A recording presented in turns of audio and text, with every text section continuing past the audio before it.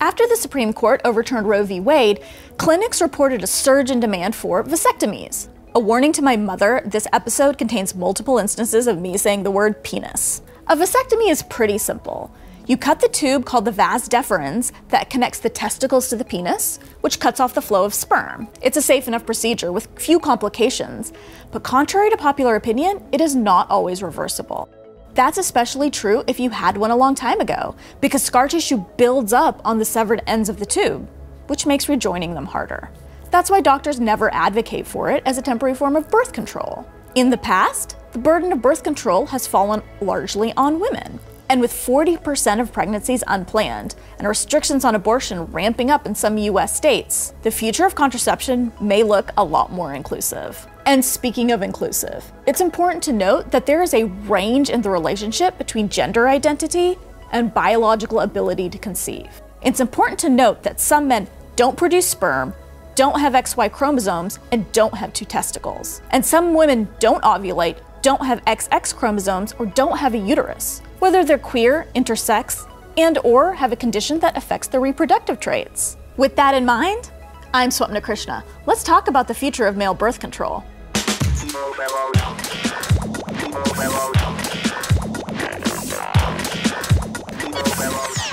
As of 2022, the only available birth control for men are condoms and vasectomies. But there are two kinds of birth control we're going to talk about here that are in development hormonal and non hormonal. Male hormonal birth control works similarly to women's by tricking the body into producing less sperm by fiddling with hormones. Hormones are chemical messengers sent through the bloodstream to maintain specific bodily functions, like metabolism, mood, and sexual function. Normally, the brain releases a hormone that triggers the anterior pituitary gland, which in turn triggers even more hormones. These tell the testes to release testosterone and produce sperm. Now, the treatments in clinical trials release two hormones, progestin and testosterone. The progestin, which is the same as in female birth control, tells the brain to stop sending hormones to the testes, which lowers testosterone levels and sperm production.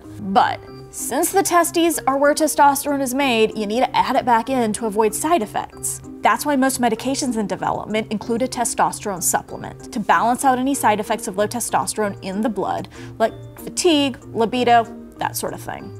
Adding back in that testosterone won't stimulate the production of sperm because you need a lot of testosterone in the testes to make sperm. But it's the testosterone in the blood that performs those other functions like mood and muscle maintenance, and that requires less testosterone.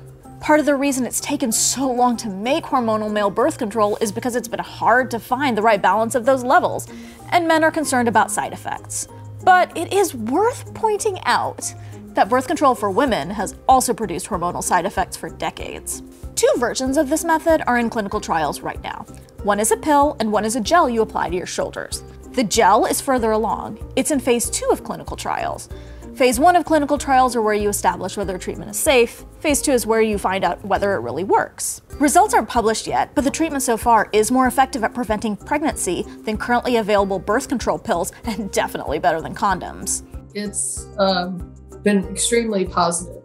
I I want to personally I want to declare victory and go to FDA and say now we need to go into phase 3. But the gel needs to be tested again in phase 3 which compares the effectiveness of this current treatment against others that exist and then approved by the FDA. But since it's a completely new treatment, no hormonal birth control for men currently exists. Researchers don't know what the FDA will require for it to go on the market. Another big factor for how fast these drugs go on the market is the pharmaceutical industry. These companies need to be willing to see the market value and manufacture them. All the research and funding so far has been provided by the NIH and the Population Council, as well as various nonprofit groups. To really accelerate the research, larger companies need to be involved in funding and actually making the products. And the questions surrounding what it will take to get FDA approval might be causing them to hesitate. Okay, so this is all about hormonal birth control. What about non hormonal options on the horizon? Non hormonal birth control is the holy grail to many researchers. There are lots of exciting treatments in the lab, but none are close to human trials. Most focus on the mechanics, like targeting enzymes on a sperm that prevents it from swimming. The way I think about non hormonal methods, there are things that interrupt the plumbing, so they're anatomic. So essentially, a reversible vasectomy where either a plug is put into the tubing that connects the testicle through the penis and blocks that and then can be reversed or naturally degrades on its own. The problem so far with targeting specific enzyme molecules on sperm is just that it's hard to do. We have a lot of redundancies in our physiology. So, enzyme that works in the testicle or in the sperm, and I'm just kind of ad libbing this, but to make the sperm swim past might have a very similar enzyme that works somewhere else in your body for a muscle or something. And so developing a drug that only targets that one form of that enzyme is just really challenging. Getting drugs into the testicles and in high enough concentrations to do the job is difficult without side effects. And often those drugs stick around for a long time, especially if you need a large amount. There's really no drugs without side effects for somebody. So um, while that's a holy grail and I hope that we'll reach it, um, I think non hormonal methods are going to be really important, but they may not be quite as side effect free as we would hope. Okay, so we've talked a lot about what's coming, but why has it taken so long to develop male birth control? It's not for lack of trying. Research on male birth control has been in development since the 1970s, but funding comes in fits and starts, partly because the emphasis has been on women, since they bear most of the risk and responsibilities of pregnancy. But it's also a math problem. It's hard to formulate birth control because men make so much sperm. Men's bodies produce 1,500 sperm a second, and a single milliliter of semen can contain 20 to 300 million sperm. Women? One egg a month, and that's only if you ovulate regularly. So finding the sweet spot, how much medication is needed, how low does sperm count need to be to prevent pregnancy, is like finding a needle in a haystack. God knows, and only God knows, why we need that many sperm when you think, you know, it only takes one. But the reality is that if we get it down below 1 million per mil, we have had, we don't expect pregnancies. But it's taken decades to find that out. That, in combination with the lack of investment from pharma companies, has meant a slower pace. Also, these sorts of clinical trials are really intense. For the gel clinical trial, for instance, you'll need to enroll a certain number of couples who will commit to taking the medication for two years. And the partner who can get pregnant needs to go off birth control. Otherwise, we won't know it's effective. It's a huge commitment. I have so much respect and admiration for the women who were willing to take a chance on this. You know, they're like, I don't know if it's going to work, but would you be in our study? And they're, I'm sure, you know, we'll take that chance.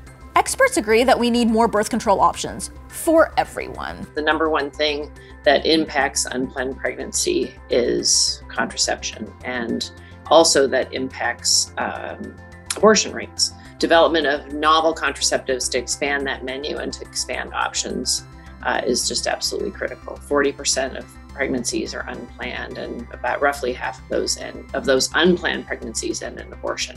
So so, you know, really we're backing, women are really getting backed into a corner. But even if and when one of these birth control methods is approved, there's still the question of trust. Will people who conceive trust their partners to use contraception? Everything about a sexual encounter has an element of trust, and everything about relationships do. And so to say, well, women would never trust their partners. I mean, that's a that's talking about a, a judgment of 50% of the population. So I think it would be very short-sighted us, us to not develop more male methods based upon a presumption that women will not trust their partners. As of 2022, IUDs are the most effective form of contraception, but that could easily change with the introduction of one of these new birth control treatments.